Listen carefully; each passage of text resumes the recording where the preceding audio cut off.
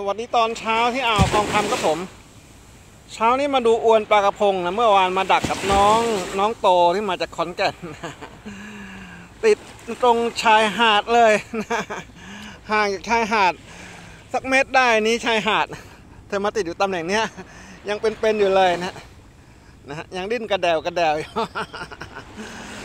สายบุญก็อย่าดูนะฮะถ้าดูแล้วบาปนะฮะเพลินผมเป็นสายบาปอยู่แล้ว ดี๋ยวจะลงไปดูนะอาหารปลอดภัยไร้สาร เดี๋ยวจะโทรให้น้องโตมาเอานะนะครับผมถ้าเธอยังอยู่นครเห็นว่าเธอจะนอนที่นครศรีธรรมราชครับผมนะฮะนอนอ้วนปลากระพงยาว เดี๋ยวจะเอาเรือลงไปดูนะครับผม เรือยังไม่ลากลงมาเรือจอดอยู่ข้างบนนะครับผมนะเช้านี้ก็มาออกกำลังกาย